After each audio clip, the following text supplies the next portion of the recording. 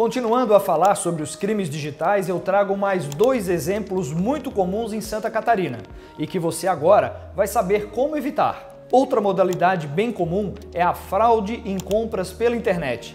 Nesse caso, há toda uma estratégia a fim de divulgar falsas propagandas com supostas grandes ofertas para assim lesar você consumidor.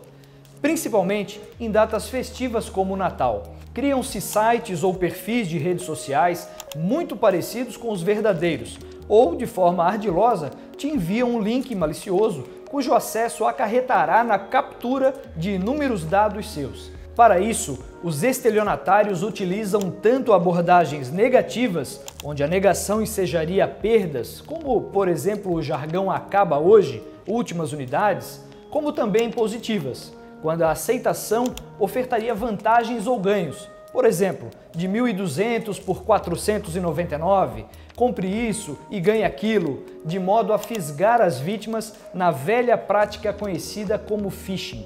Confira se o site é mesmo oficial da loja ou da marca e principalmente se o endereço no navegador está correto ou se tem o selo azul no Instagram. Faça também uma pesquisa de preços em buscadores conhecidos para analisar os valores médios do mercado e assim ter uma boa noção da melhor prática de mercado. Além disso, analise se há erros de digitação ou ortografia no texto. Já no que diz respeito à clonagem de cartão, se o fraudador tiver acesso ao cartão físico, ele poderá fotografar rapidamente os seus dados, como nome, número do cartão, data de validade e código de segurança, e passar a fazer compras na internet em seu nome. Isso pode ser feito tanto por vendedores, entregadores ou até prestadores de serviço que você nem desconfiaria. No entanto, não é preciso ter acesso físico ao seu cartão para realizar uma clonagem. Basta haver algum tipo de leitor adulterado, seja em algum caixa eletrônico ou máquina de cartão, para efetivar a ação e lesar você. Procure caixas eletrônicos em locais seguros, com grande circulação de pessoas e com vigilância. Observe se não há nenhuma anormalidade no local onde se insere o cartão.